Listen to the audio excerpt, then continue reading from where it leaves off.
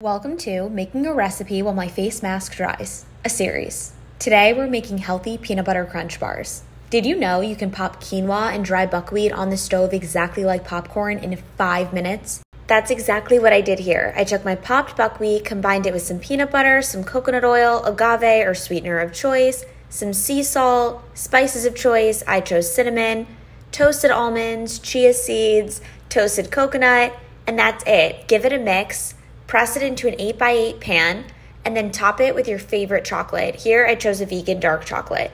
Then just put it in the fridge for one hour and let it set, and that is it.